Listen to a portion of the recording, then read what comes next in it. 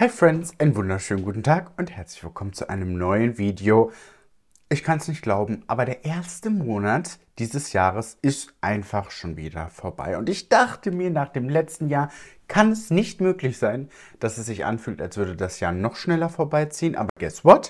2023 ist nicht hier, um da zu bleiben, sondern es geht zack, zack, zack, zack, zack und eigentlich können wir auch schon wieder Adventskalender auspacken. Ich freue mich, dass ihr heute hier mit dabei seid zu einer neuen Runde Drogerie Neuheiten. Ich zeige euch hier wieder meiner Meinung nach die spannendsten Make-up und Beauty-Produkte, die diesen Monat in die Drogerie kommen werden, die als neu deklariert sind und vielleicht kann ich auch schon zu dem einen oder anderen ein paar Meinungen abgeben. Wenn ihr nicht die letzten sieben Tage unter einem Stein gelebt habt, dann werdet ihr feststellen, dass die komplette Beauty-Welt schon wieder explodiert ist. Ich weiß nicht was und ich bin froh, dass wir hier in Deutschland in der Beauty-Community nicht jeden Tag ein neues Drama haben, falls ihr nicht wisst, worum es geht. Charlotte Tilbury ist eine Hexe, das wusstet ihr schon. Also das hatte ich euch neulich schon gesagt, angeblich.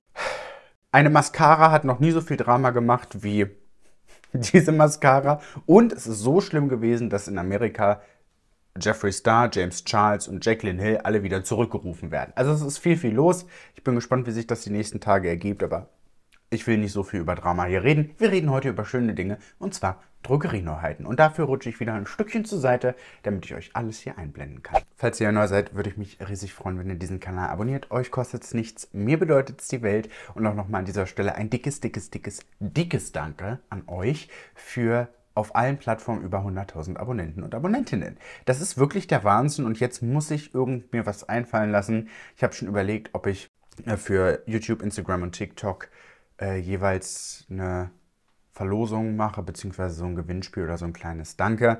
Wir hatten das Problem ja schon vor ein paar Wochen mit YouTube, dass ich nicht wusste, was ich machen soll. Ich habe mir überlegt, vielleicht schreibt mir gerne eure Meinung dazu, dass ich dreimal 100 Euro oder vielleicht mache ich auch sechsmal 50 mal schauen. Lebensmittelgutscheine, also ein Rewe-Gutschein, ein Kaufland-Gutschein oder irgendwie sowas, weil ich glaube, das ist das, was, was wir am meisten brauchen und hat für mich einen höheren Wert als eine Handtasche oder so. Schreibt mir gerne eure Meinung dazu. Ich bin wieder ein klitzekleines Stückchen zur Seite gerutscht und hüpfe direkt mit meinem Telefon auf äh, als erstes die DM-Webseite, denn dort sind immer recht spannende Neuheiten drin. Ich sortiere natürlich immer erstmal nach Make-up und schaue bei Make-up-Neuheiten, weil ich glaube, das ist das, was uns am meisten interessiert. Und ich sehe da tatsächlich auch schon das erste Produkt. Und das sind neue Lip Produkte von NYX. Das sind die Smooth Whip Lip Creams. Die gibt es in verschiedenen Farben und sind recht günstig hier. Also hier sehe ich 4,95 Euro. Das ist, oder ist das das Mini? Ach, das ist die Mini-Version, 4,95 Euro. Die gibt es aber auch, glaube ich, so in neu. Das soll so eine ganz spannende Textur sein. Ich habe sie auch schon im Laden geswatcht. Die sind wirklich wie so ein Liquid Lipstick, ein bisschen musiger, aber totmatt. Ne? Und ich finde auch nicht, dass sie so sind wie ein Liquid Lipstick, so fest, sondern die haben noch ein bisschen Bewegung, sind aber matt. Gibt es in vielen, vielen verschiedenen Farben und sah auch wirklich sehr, sehr, sehr, sehr spannend aus.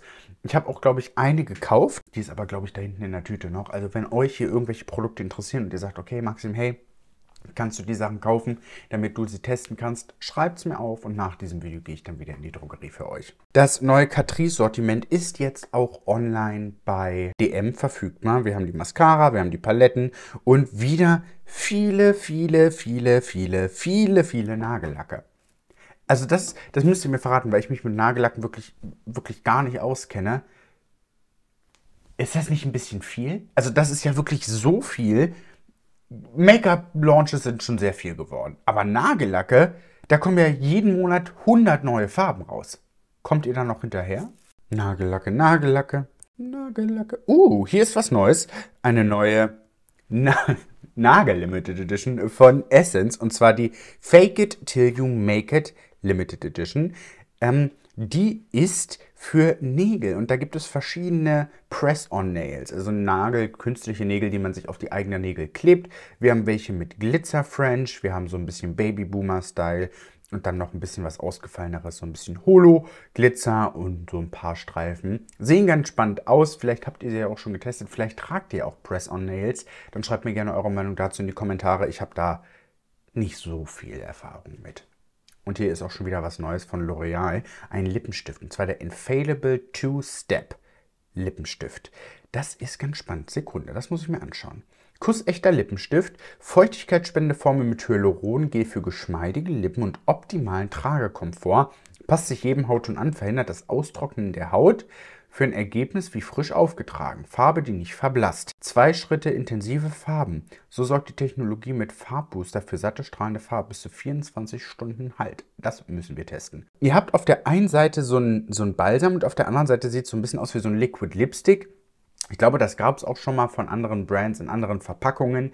Ich habe damit aber ganz gute Erfahrungen gemacht. Ich glaube, Rival Loves Me hatte so ein Ding mal. Da hast du auf der einen Seite ein Liquid Lipstick und auf der anderen Seite so ein, wie so ein Gloss oder so ein Balsam.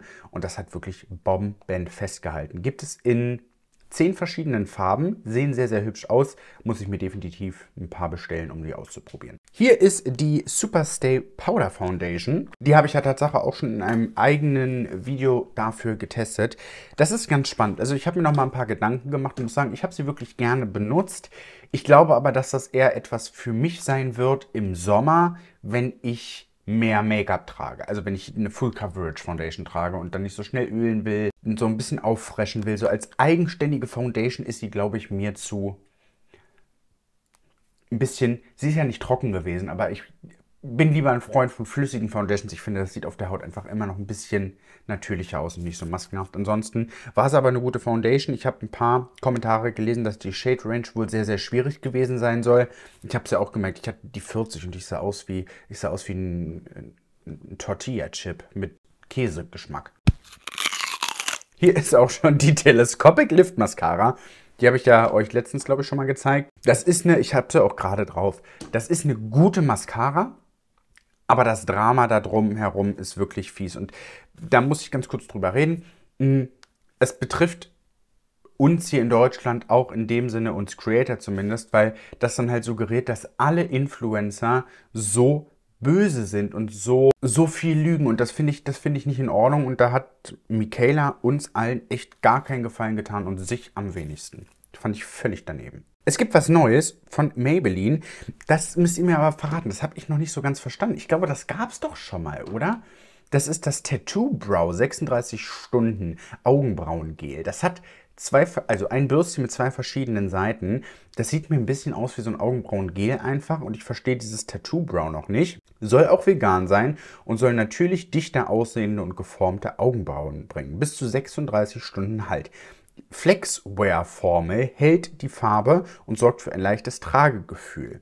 Vegan Formel, wisch- und wasserfest und auch schweißresistent. Ich glaube, das ist einfach nur so ein Augenbrauengel. Da müsst ihr mir mal so ein bisschen helfen. Was erwartet ihr von so einem Augenbrauengel? Dass es das einfach nur hält oder dass, wenn ihr sehr helle Haare habt, beispielsweise, eure Augenbrauen einfach nur gefärbt sein sollen? Weil so danach sieht das für mich so ein bisschen aus. Es gab ja auch mal eine Zeit lang, ähm, die Limited Editions oder generell Augenbrauenprodukte, die konntest du dann so abziehen und dann hast du die Haut eingefärbt. Das fand ich eigentlich ganz cool. Das sah auch immer sehr spannend aus. Hm, für, für so ein Augenbrauengel habe ich dieses Tattoo-Brow-Ding noch nicht verstanden. Aber ich glaube, das ist halt so ein typisches Ding, dass wenn eine, eine Reihe gut performt, so wie die Superstay, dann wird halt alles andere auch mit Superstay gemacht. Genauso wie bei Charlotte Tilbury. Ne? Pillow Talk Lippenstift, Pillow Talk Primer, Pillow Talk Sitting Spray, weil man dann damit ein gutes Produkt assoziiert. Schauen wir noch mal kurz, was es in der Pflegekategorie Neues gibt. Da gibt es von B-Routine neue spannende Masken Coco Loco, jo Rosie Josie und OO Aloe. Und es gibt für 1,55 Euro, das ist ein guter Preis. B-Routine ist ja immer so ein bisschen teurer gewesen. Das äh, scheint mir aber ganz gut zu sein. Ich bin nicht so ein großer Freund von B-Routine, von, von diesen Ampullen, die mag ich gar nicht. Das sieht aber ganz spannend aus. Genauso wie das hier, das Beauty Hyaluron Serum von Balea. Das sieht sehr, sehr spannend aus und es sieht mir so ein bisschen aus, als hätte Balea das Logo so ganz leicht angepasst. Es sieht so ein bisschen mehr Vintage aus. Das soll ein siebenfaches Hyaluronserum sein für sofortige Glättung, für sofortige Straffung, spürbare Faltenminderung, ein pralleres Hautbild, siebenfach Hyaluronsäure und das Ganze für 4,95 Euro. Irgendwas sieht da anders aus. Ich glaube, das ist das Logo. Balea habt ihr das Logo geändert. Sieht sehr spannend aus, werde ich besorgen auf jeden Fall. Ich probiere so ein paar verschiedene Sachen gerade aus. Was es auch neu gibt, und da muss ich sagen, das ist wirklich sehr, sehr gut. Ich war neulich in einer Masterclass von L'Oreal für das neue Vitamin C Serum. Es gibt einmal das Serum Revitalift Clinical Vitamin C. Das ist schweineteuer. 20 Euro für ein Vitamin C Serum finde ich persönlich schon sehr, sehr hoch. Es gefällt mir aber ganz gut. Ich bin tatsächlich nach der Masterclass wirklich nochmal in den DM gefahren, habe es mir gekauft und First Impression, es ist sehr gut. Genauso, genauso wie die Lichtschutzfaktor Creme bzw. die Sonnencreme. Die kostet in Anführungszeichen nur 14,95 Euro, hat Lichtschutzfaktor 50 plus UVA, UVB und ich trage sie auch heute unter der Foundation. Ähm, du hast keine Rückstände. Also sie zieht wirklich sehr, sehr gut ein, auch wenn du viel nimmst. Kurz ist ein Rückstand und der ist dann innerhalb von zwei Minuten weg. Sie fühlt sich sehr leicht an und bis jetzt habe ich sie auch gut vertragen. Sie riecht halt nach Sonnencreme, hat aber auch noch Skincare. Oh nein, oh. Hat aber auch noch Skincare-Eigenschaften mit drin. Ich glaube, Hyaluronsäure war hier auch noch mit drin. Ähm, ist für den Winter eine gute 50er-Creme und angeblich ist diese Vitamin C-Reihe auch ein gutes Dupe zu der ich glaube, La Roche-Posay Vitamin C-Reihe. Gehört ja alles zusammen am Ende und das ist ja oft so, dass dann der Mutterkonzern das nimmt und dann ist es wieder in Ordnung. Also es gibt Neuigkeiten von, es gibt viele Skincare-Neuigkeiten, von Neutrogena, ein Retinol-Boost 50 Milliliter und 30 Milliliter. Das soll parfumfrei sein und ein intensives Nachtserum und eine intensive Gesichtspflege sein. Bei Neutrogena bin ich so ein bisschen skeptisch und da bin ich gespannt, was die Skincare-Expertinnen alle bei TikTok sagen, wie die Produkte performen. Da habe ich keine Ahnung. Es gibt aber auch eine neue Reihe von L'Oreal, die Glycolic Bright Serie. Da gefällt mir das Packaging sehr, sehr gut. Das ist so ein bisschen irisierend. Wir haben auch ein Serum, wieder 1995.